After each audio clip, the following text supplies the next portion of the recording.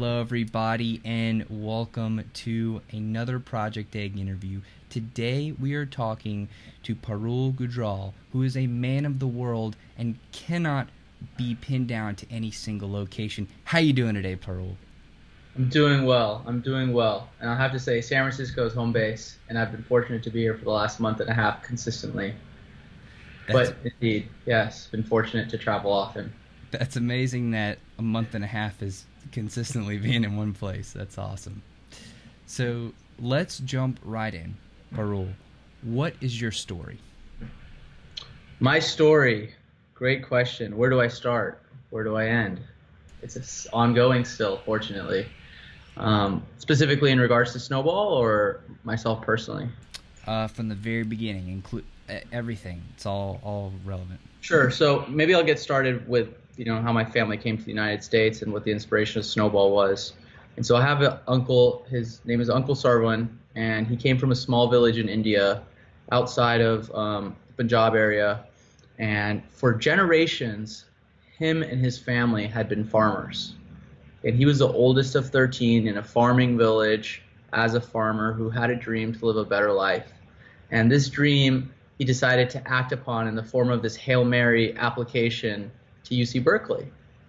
And so, lo and behold, he got in. But how does a farmer boy, oldest of 13, who's been who's come from a farming village of generations of farmers, afford to go to university, let alone university on the other side of the world, um, UC Berkeley? And so, a thousand villagers plus gave their life savings to Uncle Sarwan to be able to come to UC Berkeley with the hopes that you know he would be able to transpire a better life for their kids and generations in the village to come.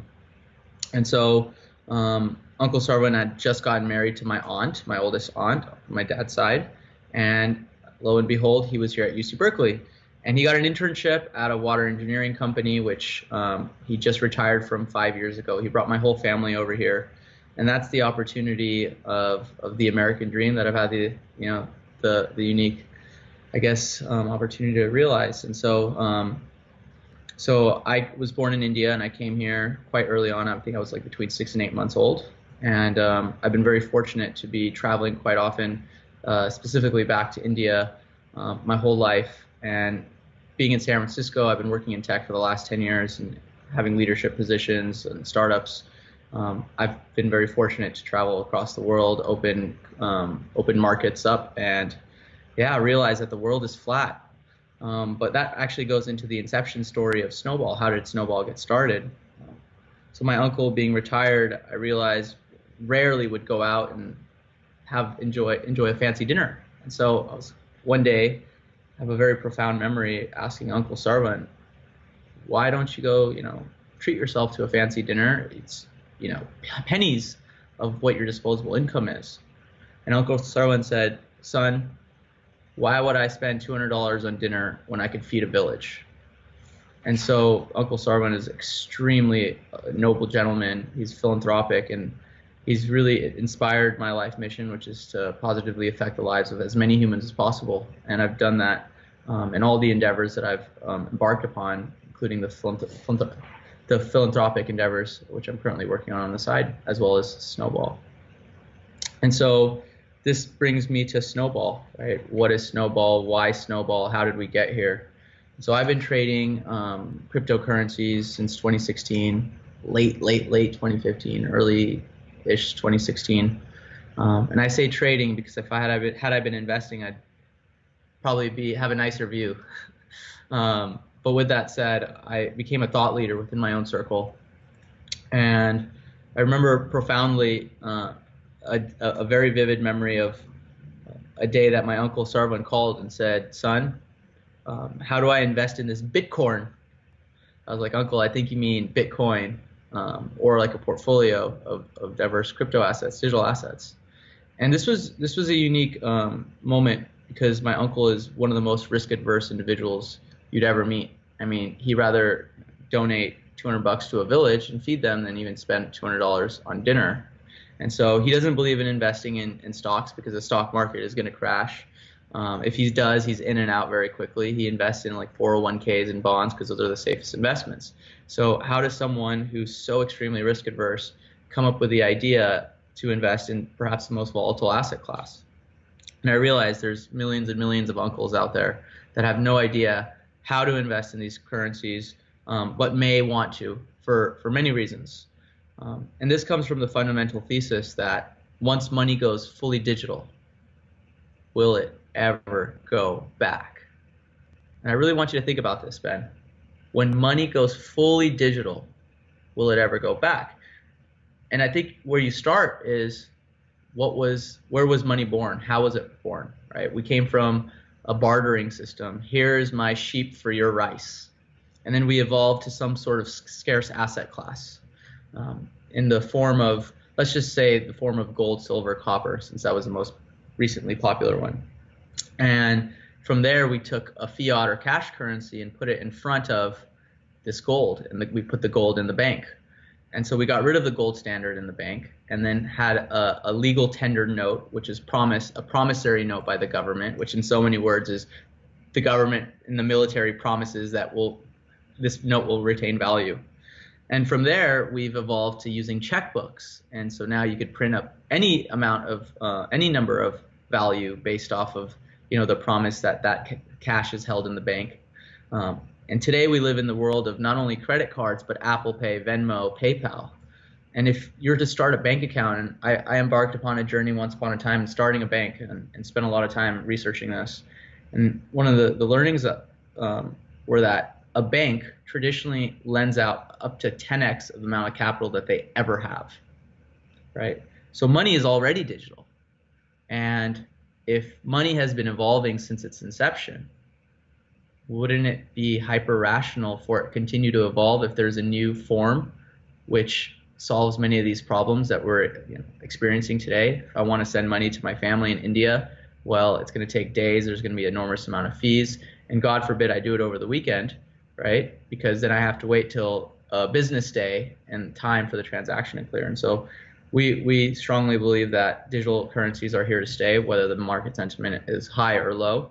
Um, and so, um, and people are going to get it, come into this space. And what we saw with the whole ICO craze was many people lost their shirt. Their theft and scams were rampant. The folks who were trying to do the right thing, I think there was a statistic that said 40% of ICOs ran out of money within four months. So even if they're aspiring to do the right thing, they don't have the right business acumen.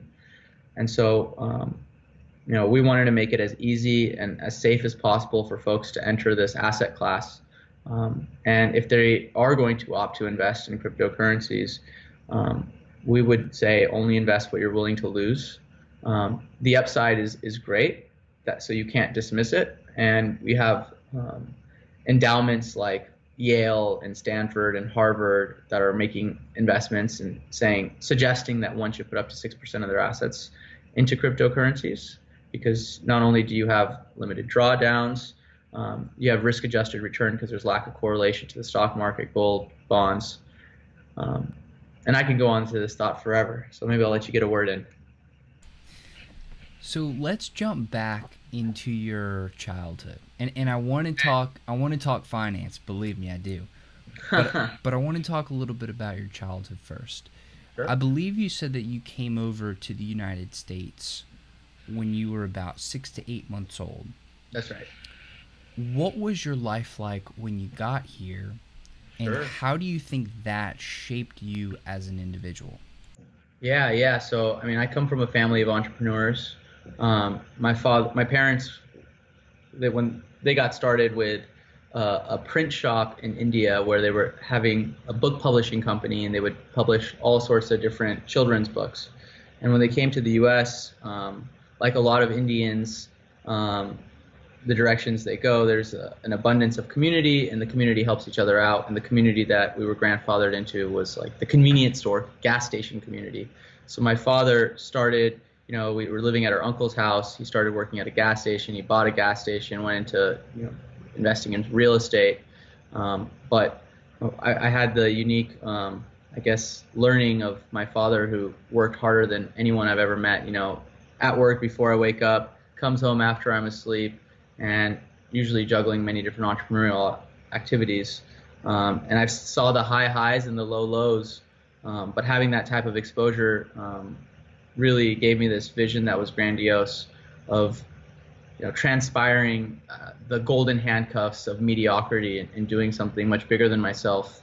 And so this is why we transpired like this vision into a business, which is only going to be successful if we think if we're able to make a difference in the world. And for us, the difference is giving folks exposure to cryptocurrencies in the most safest for a long term, what we believe to be as safe long term investment as possible. And so we can't make a killer business without um, changing the world or making a dent in the world, and we can't make a dent in the world without making a killer difference, such that our our values are married with our success.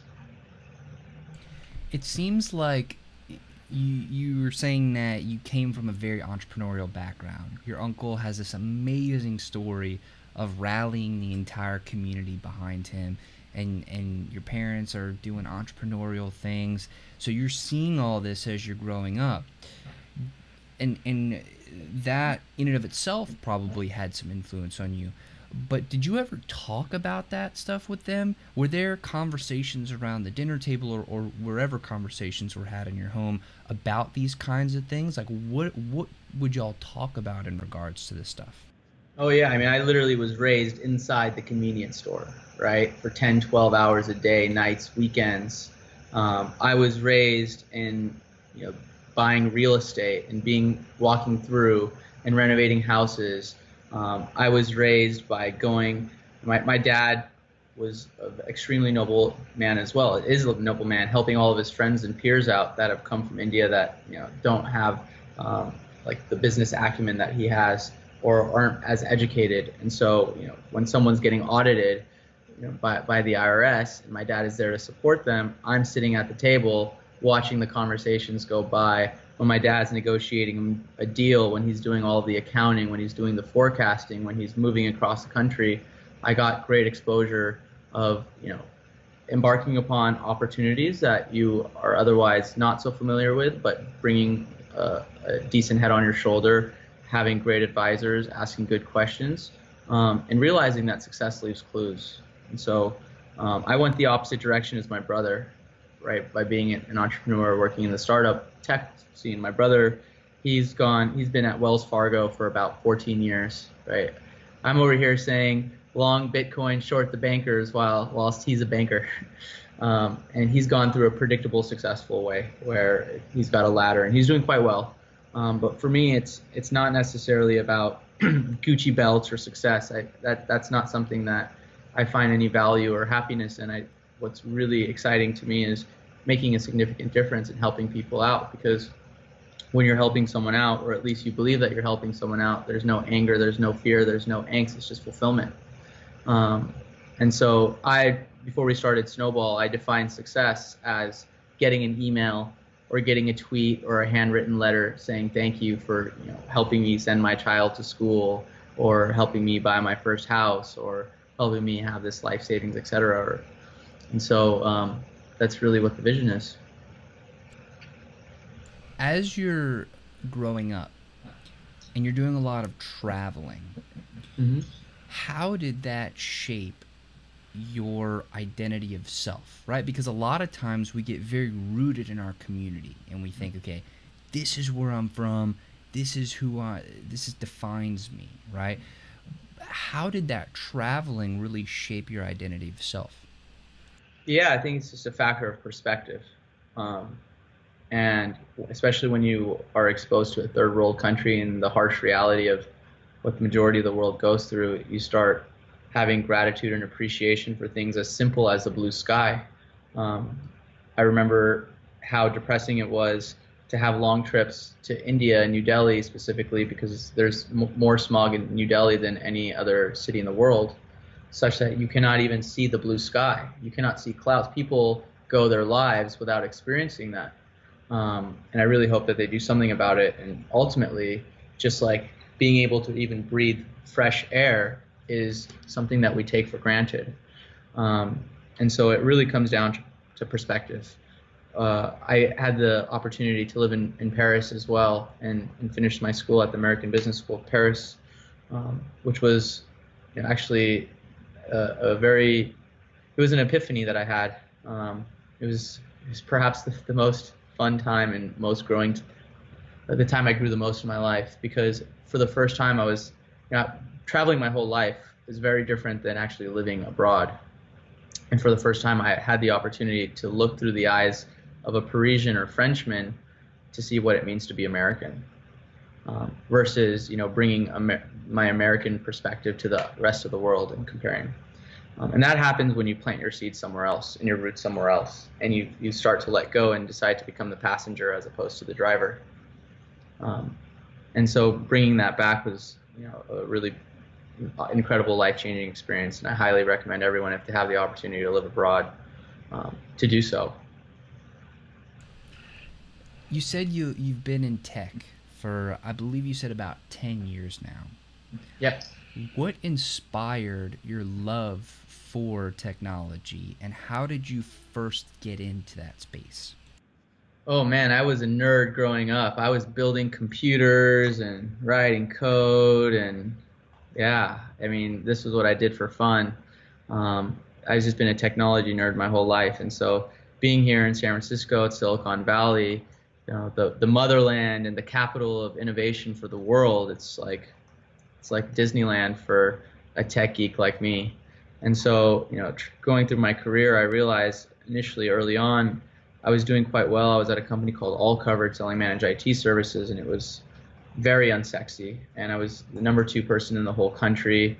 Um, I was the youngest person with my job title by like 20 years, and I was uh, managing you know 54 people over five offices in this program of selling managed IT services.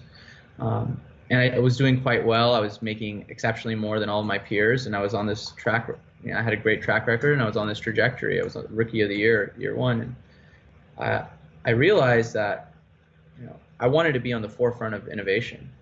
I didn't want to be on the tail end, and so that's when I jumped off uh, head first um, into the tech scene and joined a, a really early stage startup, and that was going through the 500 startups program. And so I got to experience what it's like to go through a prestigious accelerator and go through insane amount of growth um, alongside you know many peers that are going through the same process and have that collective community that's sharing their learnings perpetuating each other forward.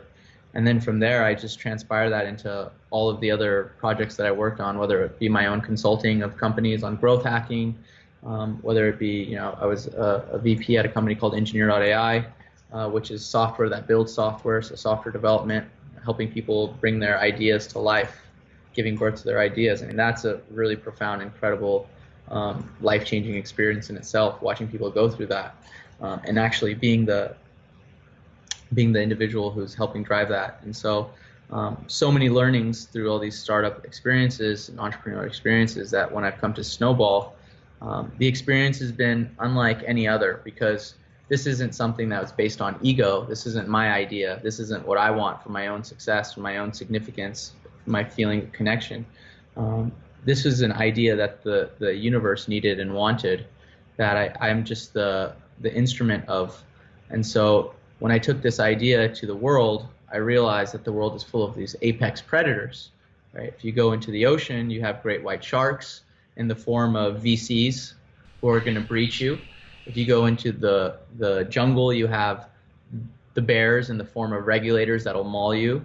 Right? And if you go to the mountains, you you have the mountain lions in the form of customers that'll claw you. But every time you take this idea to these different places and to these different apex predators, and your idea doesn't die, it evolves. And so we spent about seven months on finding product market fit, evolving our idea. And I have to say, there's nothing more frustrating when you're when you have you know minimal money in the bank and you're trying to get your your feet planted and you want to etch this in stone very badly. But we were extremely patient and diligent through the process um, and went through the product market fit, which is the reason why we've been able to make such a bang in the, in the industry after publicly unveiling ourselves just three months ago. Right? We've got 50,000 people on our wait list um, in a bear market, right? A bear market that's existed for 12 months. When Bitcoin went from 6,000 to 3,100, we had 10,000 people on our wait list. Um, and we're hyper connected with our team. We're hyper connected with our community, and our wait list is growing like wildfire.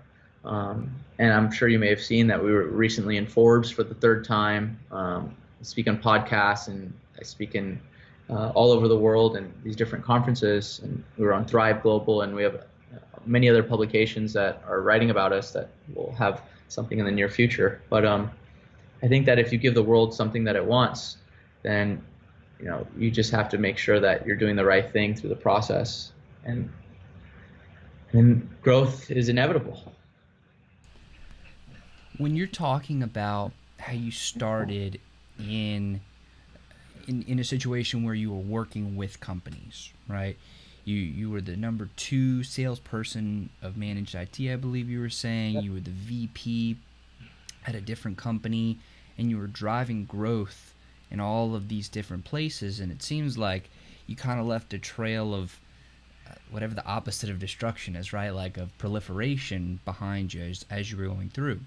Yeah. What was the key to achieving those things? Like, how did you execute to the point where you were so successful in those different roles? Um, one simple factor, and that is success leaves clues. Right? So, find out, define your goal with absolute clarity, create a timeline, and then find someone who's done it. And then essentially do what they do. And if you have a decent head on your shoulders and you have a little bit of luck, then you're likely and, and, and an incredible work ethic, then you're likely to repeat the results or get close to it. Um, and then once you make it your own, then you innovate and become creative and take it to the next level. So it really comes from establishing that foundation, having op- absolute clarity, setting a timeline, um, and then learning from the best. And that's what we've done here at Snowball as well. So we've got incredible advisors, you know, one of our advisors, he was one of the founders of Singularity University. He's also advising Facebook.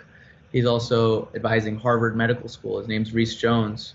He's taken two companies to IPO, four companies to ICO, um, and he speaks at conferences all around the world. I mean, the collective knowledge that this gentleman has in various different fields is just it's it's baffling. And so we we've been getting so much value from him. Another one of our advisors was the first CEO of Salesforce.com right? Now you have exposure to people who created a brand new category, had trouble fundraising from like the smartest money, um, and now have literally changed the world and started and exited four banks and has a tremendous amount of technology experience. Um, and what I find is when I sit with these gentlemen over dinner, the most successful people aren't the ones telling the stories, they're the ones listening and asking questions. There's no ego involved, right? They're constantly learning. And so um, I, I've always had, you know, with my my previous significant others, challenges sitting down watching movies because I'm not learning anything. Right? Like let's put on a documentary, let's learn something. Otherwise, it's a waste of time. But but with that said, I think that's like that's that relentless drive of curiosity, um, to that yearning to learn, um, and then not only learn but apply. So, you know, if knowledge was power, then we'd all be billionaires with six packs of abs but we're not. It's the action is power, right? And that's really the difference. When you're going out and you're finding these people that you want to work with, you, you want to have them come in and be advisors or some sort some sort of strategic alliance, right? Sure. How do you go about identifying who it is exactly that you want to bring on mm-hmm. and how do you sell them on the vision? How do you articulate that vision to where they find it valuable to invest their time in your project and idea? You know, it's really interesting you asked this question because now we have a full-time team of nine people who have essentially been more or less asked to be good for nothing. And I say good for nothing because we're paying them almost nothing and they're doing incredible work. Um, and so it really comes down to purpose and culture. If what you're doing is bigger than yourself, then in the peaks and the valleys of entrepreneurship or being part of a early stage thriving startup, if it's bigger than yourself, then you're not going to have to climb out of the holes. You'll be pulled out because it's not about you, right? And so I think we've been able to really genuinely paint that picture for folks that have joined our team. Um, there's been times where we've had to let go the smartest person in the room, the smartest, most talented person in the room, not because you know um, we couldn't afford them, but for the reason of they just weren't a culture fit, right? And everyone is here because they believe in something bigger than themselves, and that applies to our investors, that applies to um, our advisors, and our advisors and our team have the opportunity costs to to make a quantum, well, uh, then, or at least our team has an opportunity cost of making a quantum of what they're making at Snowball at the moment, right? Our our CTO he is a serial entrepreneur. He sold a company. He ran product for Procter and Gamble. He's got gray hair. He's expert. Um, my COO co-founder. He was a hedge fund manager for 12 years. Um, Stevie Cohen was one of his clients, and when he left to another firm, he brought Stevie Cohen with him. He started a Ripple Parrot exchange. Right? These guys, these guys have expertise. They've had a tremendous amount of success. So why snowball? Why you know be good for nothing? Um, and it shows three things. One, it shows character, it shows um, dedication, uh, and it shows belief in something bigger than yourself. And so um, I think everyone is here on and is on the same page because they're not coming to get um, the carrot waved in front of them or feel significant. They're coming here to do work that's meaningful, um, and they believe in the long-term vision of the company. And ultimately, I mean, we say this, our, our, mission statement is to unravel global financial inequality. And we're doing that by democratizing access to information, and the information is in the form of these portfolios that are curated by professionals. So if someone wants to play uh, in this world of digital assets, they don't have to create their own investment thesis. They don't have to move money across exchange accounts. They don't have to take custody of their own assets. They don't have to read these 45 page white papers or shake hands with people on the team. Um, or try to get access to information. They can invest passively like Warren Buffett wants you to invest, right? Warren Buffett talks about investing in the S&P 500 and he did this million dollar bet that the S&P 500 would outperform a series of a portfolio of hedge funds over a, a weighted period of 10 years. And not only did it outperform, but it did by 400%. And so we believe in index passive investing for many reasons. And so we're trying to mitigate that risk for everyone and we believe in that as doing the right thing and that digital assets are here to stay because money is going is digital and it's not going back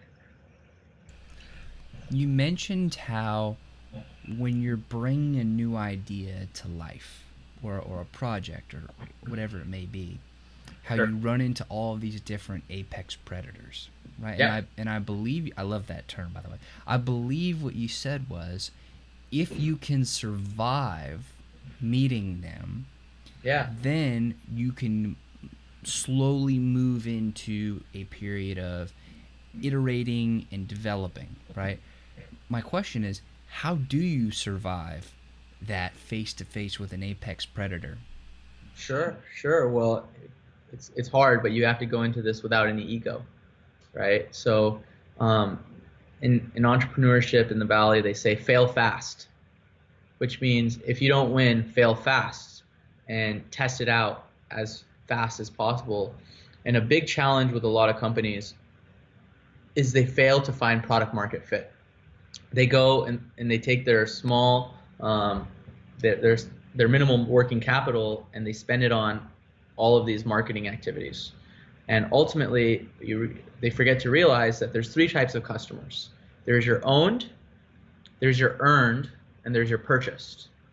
And most companies go straight to purchased. And what happens is you start sparking flames, um, you know, trying to convert these people into paying users of your application. And perhaps they do, but they churn.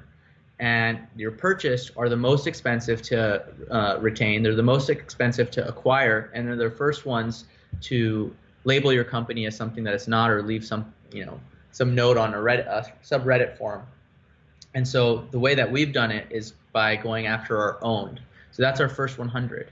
Our owned is going to start with our friends and family. It's going to start with our peer group. It's going to start with our community. It's going to start with our investors. It's going to start with our partners. Um, and that's your first 100 customers. And the way that you get in front of them is very different than what you do with purchase. You actually interview them. You find out what their growing pains are. You get them to commit. If you build this product based off the pains that they're having today, will they commit to investing? Will they commit to using it? And you become a thought leader. You build their trust. You build rapport by going out and, these different events and, and speaking engagements. And then once you understand who your owned is, then you go to your earned. These are the referrals from your owned. These are the people who are actually facing the problem that you're overcoming and solving through your solution. Um, and that's your first 1,000. And between your 100 and 1,000, once you get those folks um, signed up, activated, you actually have something called product market fit. You know exactly who your customer is, you know exactly what their problem is. So for us, we have a survey that has over 2,400 people have filled out. And that tells us how old our customer is, tells us where they live in the world, tells us how much money they want to invest in Snowball, tells us how frequently they want to invest, it tells us whether they even know what it means to be an accredited investor or not, it tells us if they've used any other robo advisor services, it tells us uh, what their experience is in cryptocurrencies, it tells us how they found us, tells us why they found us. Um, and then we also we know what they don't like about us, right? So um, we gather all this information as much as possible, and so at that point you've got the fire burning when you have product market fit. And when you get to the purchase, which is your 1,000 to 50,000 or 1,000 till perpetuity, is you've got the fire burning and you're putting gas on the fire. And so you can now have predictable growth. And that's the way that we've been doing this. Um, and it's been incredible. We've been able to attract some of, you know, the most talented folks to join our team. Our CMO, he's a celebrity. Uh, he has uh, 15 different Instagrams. His most prolific one is called Millionaire underscore Mentor, Millionaire Mentor, where he's offering these um, bite-sized nuggets of, of, of inspiration or philosophical, or not philosophical, but inspirational espresso, which people come to have every single day. Who are these folks tend to be entrepreneurs or entrepreneurs, um, and so people who are aspiring to, you know, to to be able to enjoy their dreams and have them come to fruition, and the people who are actually, you know, already in the process, continuing to be motivated. And so from there, um, he's able to give them strategies on how to be successful. And, and in some cases, that may be Snowball, the Snowball platform, or cryptocurrencies, or, or um, many different things but it's, it's really really exciting to be able to get people of, of that caliber to believe in us so much so that not only do they join our, our organization and start marketing us in their pre-existing marketing channels they have enormous amounts of opportunity costs but we also have a material amount of investment that's coming right? So our first investor was a gentleman named richard blum um, and his wife is Dianne Feinstein senator of california. And so when he made that investment in us we, we made a pledge that we're going to be doing everything uh, as legal as possible, right? And there's a pretty great, there's a very gray area when it comes to digital assets and regu- regulations on what's legal and what's not. But we're going to be one of two companies that has a registered investment advisor that legally allows us to sell indices to non-accredited investors. Um, and we're already registered with FINRA, FinCEN, CFTC, et cetera. Um, because when you're talking about other people's money, it's their livelihood, and so there should be regulation to ensure that you're doing the right thing. And so this is how we've built our infrastructure, our platform. Um, and no part of the business plan has going to jail in it. So.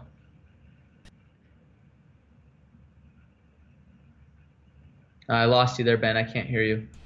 There we go. You you talked about ego a, a couple times during the interview, and one of the things that I've noticed is that you've done a great job of talking about how talented the team is. Um, but I'm I'm interested in in hearing about yourself as well. So if you could maybe take a second to to to talk about yourself in the in the uh, perspective of what skills and and strengths and superpowers are you bringing to the table so that you can push the stream forward so that you can build the stream team? Like why do they want to work with you? What what are you bringing to the table? Sure sure. So i've been asked before actually multiple times what is my superpower? Um, and what's actually been chosen for me um, this is my my attempt to be humble um, is my superpower is the ability to create a genuine relationship with anybody. um, regardless of where you are in the world or what your financial status is or professional status is. Um, and I think one of our biggest values, or, or my biggest value that I bring to the table, is like you can't try to be genuine, right? You can't try to have integrity. You either have it or you don't, and people can smell it from a mile away if if you're a phony. Um, and so I've been extremely genuine um, with my team and extremely honest, um, such that it's really transpired into the culture. And I think that people truly feel like they're part of a family, they're part of something bigger than themselves. And it's easy for them to work nights and weekends because as a collective community, we're working together on this this plan and purpose. And so um, building this culture is something that I've, I've come with a lot of experience in doing, and it's really transpired into the smiley faces that we have in the office. Maybe you might be able to catch some smiley faces over here. Emily is our mastermind. She was at Yelp for six years, building community for Yelp. Was working for James Franco um, in Hollywood as um, a production manager, a writer, production coordinator, and also an aspiring actor. And so we've got these incredibly talented people. And like Steve Jobs talks about, you know, you don't hire smart people to tell them what to do. You hire smart people so they tell you what to do. And so just really creating a framework and structure to ensure that there's a process where everyone feels empowered, regardless of what their title is, um, and everyone is owning their their division. And and because they they're owning it they feel significant in what they're doing that their work is actually making a material difference. We've talked a lot about how you've got here but we haven't and, and we've danced a little bit around what here actually is but can you can you talk about exactly what you're working on right now exactly what Snowball is and really give us a, an in depth overview of what you are currently focused on. Sure, sure. So, Snowball.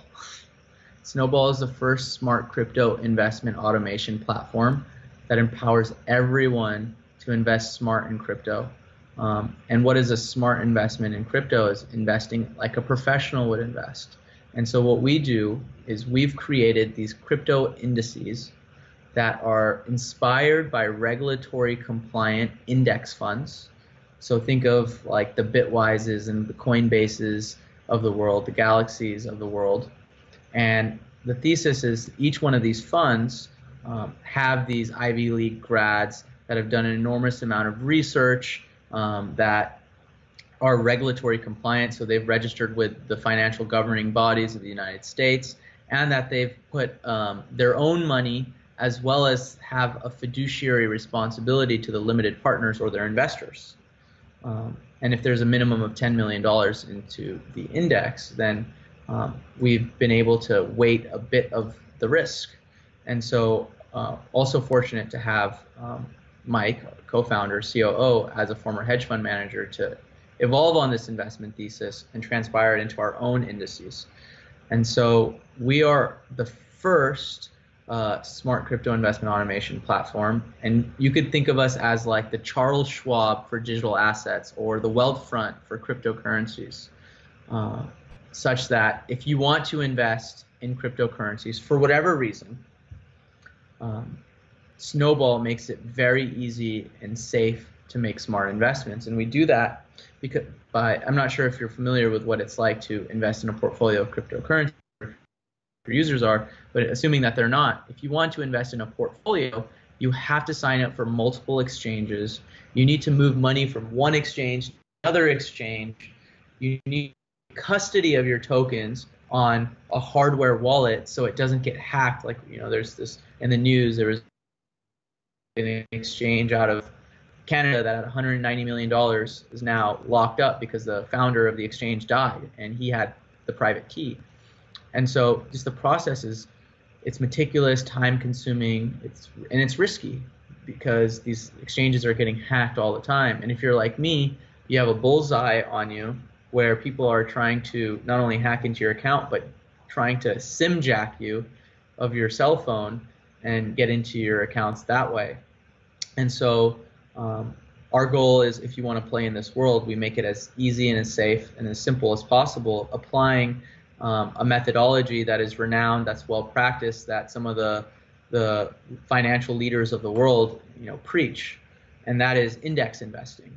Um, and so Snowball allows you to invest into these in, in indices, um, and if you want to change from one index to another, um, you can do that. The minimal deposits are are small, and uh, unlike most index funds, they're only available to accredited investors and they require a significant deposit. Snowball has a minimal deposit requirement, and our goal is to be available to everyone.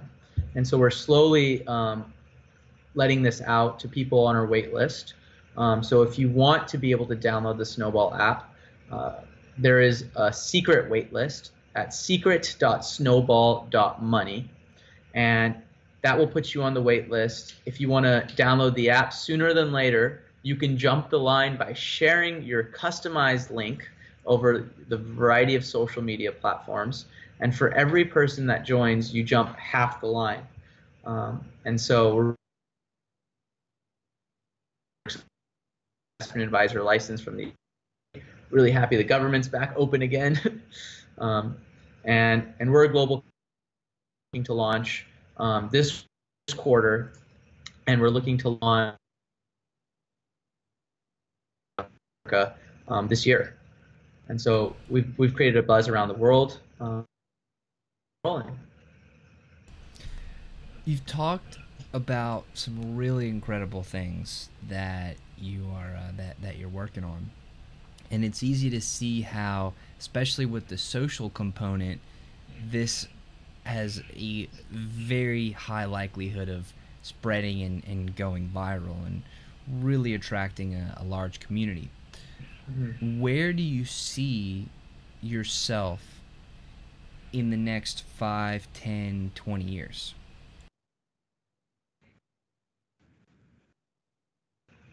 Sure. You know, our vision is when we got started is to create a platform that at least a quarter of the world could use. And so 5, 10, 20 years, I think that um, if you look at the amount of reserves, the capital reserves in developing nations, if that was just to go into digital assets, then you have a $10 trillion market. Um, and that's what, that's almost a hundred of where we're at today. Um, with the advent of a recession or depression in a developing or, or, first world nation, you have the possibility of folks to find another asset class um, to move their money into, which is very likely and feasible for that to be digital currencies. Um, and so, really, what we're forecasting is, you know, money is digital and it's never going to go back. And so, we want to be a leader in this space, um, like like a Wealthfront or a Betterment or a Schwab, or, we're, or a Fidelity or a Vanguard where we're a platform for different portfolios in, indices. And when ETFs are legal, then we'll be an index investing platform, and we'll be a global company allowing everyone to put their assets um, and grow their assets through Snowball. Um, our vision is also to bring transparency. And so if you look at hedge funds, especially over the blockchain, they don't report, or pardon me, they report their gains and losses, but there's no transparency. And so our goal is to bring transparency by uh, having them report all their trades on the blockchain. Um, and this way, if you're a new fund and you're doing quite well, well, you now have marketing exposure through Snowball by verifying your gains or losses. And if you're a big fund, you may want to get an LP, and the LP may require you to have some sort of third party verification. And what that means for us is we'll be able to now make some pretty solid predictions of how the market is moving and allow retail and everyone to be able to participate in our own snowball index. Um, and I'm going to be making a bet at some point in the horizon. So, so it's a million dollar bet. So I would say keep your ear out for it. But we'll be making a, a pretty exciting million dollar bet, um, and that's that's for another time. So I appreciate you sharing all of these different things, um, and I and I know it's uh, it's exciting um, and I appreciate you going in depth on, on all of the, the specific points there. Um, I do have a few questions that are more you related and, and not as much snowball related. Sure. Um, what are you most afraid of? What am I most afraid of? Um, you know, I have kind of programmed myself over this last, gosh, however many years to not really focus on obstacles, but focus on solutions. So I'm a big believer that your quality of life isn't the quality of the events, but uh, a quality of three things. One is what you focus on. Is this the end or is this the beginning? Two, what meaning you give it, and based on the meaning you give it, what action you take. Um, and so um, my biggest fear would be that I'm encouraging folks to invest in this asset class and potentially the asset class goes away. I mean, it's my thesis that many of these tokens will go away. Um, but I'm very, very confident that digital assets are here to stay, and it's extremely unlikely. What does work life balance mean to you? Well, if I'll share the cheesiest quote in the world, right? If you, you enjoy what you're doing, you're not working, and so um, you won't work a day in your life. Um, and I, I, actually I only share that because that's what we're embodying. Right? If you're passionate about what you're doing, then then you are balanced. Well, you're only imbalanced if you're seeking balance, right? So like we only want what we're not, right? People only want to be rich because in their eyes they're, they don't have money. They only want to be fit because in their eyes they're out of shape. They only want to be happy because in their eyes are subconscious they're uh, unhappy. And so I would say that if you're following what your passion and your purpose is, then you'll find balance native natively. And so it's not something that necessarily needs to be worked on. But that's my perspective, and I could totally understand if everyone disagrees with me and it's very skewed and subjective. So take it as noise or signal. How do you define wealth? Well, I think that wealth is happiness, right? And and that's what we should all be chasing. And uh, there's a quote that was said that uh, that I'm a huge fan of by this gentleman named Mike Edelhart. He used to be part of um, uh, well, he's part of a company called Social Start Capital, um, and he's extremely wise. I think he wrote like 23 books. But he said this quote entrepreneurship is a form of socially accepted mania. And he says that because you believe that you could change the world and you have all odds against you. And if you look at this as, as a finance guy like me uh, or a numbers guy, the probability of success is extremely low, let alone, I think there's a 0.086% chance of a company to be a unicorn if they get to their Series A of funding. And most companies die at seed. Um, and so, if you have all the odds against you and it requires you to make these enormous life changing sacrifices and crazy hours and lack of sleep and yada de do, right? Why would you want to do that? Like a normal person would just wake up and get a job and find balance and and and find happiness in their growth. But um, for me, it's it's something different. I think you know, for me, the happiness and success isn't going to be from what I have achieved in the future, but looking back of what I've achieved in the last two years and having a vision of doing more.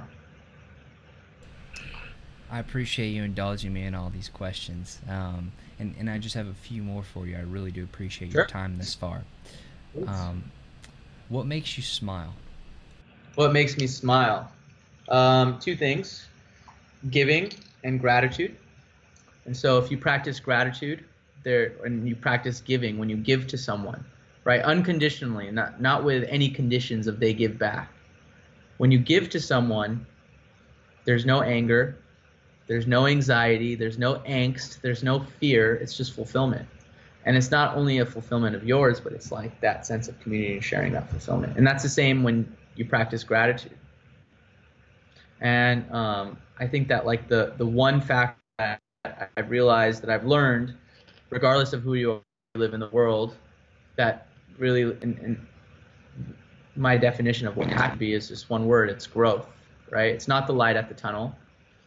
It's not um, falling in love. People fall out of love. It's not, we all know material doesn't equate happiness. It's not like the six pack of abs, but it's those bite sized nuggets of success, right? It's, you know, oh wow, I lost one pound today. It's like, oh wow, I met this incredible person, and now like we're doing all these unique, fun, exciting things, you know, or you know we're growing in our relationship and we've been together, or it's you know my goal was to raise of money or get Y amount of customers or have X, you know, Z amount of users, and now we're able to do that. And I remember those days when I was getting my first 100 versus my 100,000 versus my first 1 million. And so, as long as we're aspiring and pushing ourselves to grow in these various different parts of our life, I think we'll have fulfillment. And when you're not growing and you're stagnant, that's one of the most painful experiences. So again, I really appreciate you sharing all this. Two more questions for you. First is, what about yourself do you think is an important part of who you are that I did not ask you about today? In other words, what did I miss? Um, ben, we're having technical difficulties here. Can you repeat that again? Sure. Sure. What about yourself is an important part of who you are that I did not ask you about today? In other words, what did I miss? Um, and important about me. I mean, listen, you're interviewing me, but I'm just a team and a community and a group of people that are a collective consciousness. And I would say that, you know, back from how we started, that it's not being a human being, but a human becoming. We're constantly evolving. And so for me, it's not about what I've achieved or what we're achieving, but it's what our potential is and how we can get there together and what we can learn in the process. And so I guess I'll just leave you with that. So, one more question for you. Um, and this one's a, a bit of a selfish question, so uh, you know I appreciate uh, appreciate if you humor me on this one. Um, I'm 24, right? Building a couple businesses, have the show. I'm, I'm an author, uh, doing a couple things. What should I be asking you that I wouldn't think to ask? So, hmm, what should you be asking that you wouldn't think to ask? I, I can't get into your brain and, and explore what's in there, what's not in there. But I think that, you know, what I've learned is, you know, when you go through these entrepreneurial endeavors, for whatever reason, I would ask yourself what your why is, right? And and whether it's an entrepreneurial endeavor, or just a professional endeavor, why? Why do you want that? Get to the root of it and then realize, okay, you've achieved that. What now? Right? And if your why is so compelling that you can't live without this out, then you know you're on the right road. Um, so I would I would focus more on purpose-driven questions um, because we could always look at outcome and celebrate outcomes, but as time progresses, um, sometimes they may not be repeatable. And and if you focus on outcomes, you may miss like the crux. For example, um, we ask all of these super successful CEOs of Microsoft and of Google, et cetera, like about this. But we all forget that every single morning there's a nine out of 10 chance that a leader is waking up and doing something that's going to help their mental health, whether it's a form of meditation or breathing or working out or exercising. That's like a fundamental core thing that they all start. They don't typically don't start by looking at their emails if you look at like the people the highest earners of the world so um, so I, I would i would really you know dig dig deep on what the purpose is and then from the purpose once you evaluate it, then you know what the significance of the rest of the topics are Well, I, I appreciate that. Um, and you know, Parul, I want to thank you so much for coming on the interview today. It has been an absolute pleasure. And uh, to everybody who's listening, I want to thank you all. Um, y- y'all are the reason that uh, there's my southern coming out. Y'all are the reason that we do this, and uh, I love you guys so much. And thank you so much for supporting the show and watching the show. Um, y'all are the reason that that I do this. So, thank you so much, Parul. Do you want to uh, you want to wrap up for us? Yeah, absolutely. It was a pleasure to be on this show. So I invite everyone to go to www.snowball.money, or if you want to join our invite-only waitlist, go to secret.snowball.money. You can connect with us on Instagram. You can connect with us on Telegram. Um, we've got many ways to connect with us on Facebook. But get onto our waitlist. Give us a shout. Tell us what you think. DM me your questions. I'm happy to help you guys out in any way, shape, or form really grateful to be part of this opportunity and and cheers guys let's all win together All right. Have a great day, everybody, and thank you so much.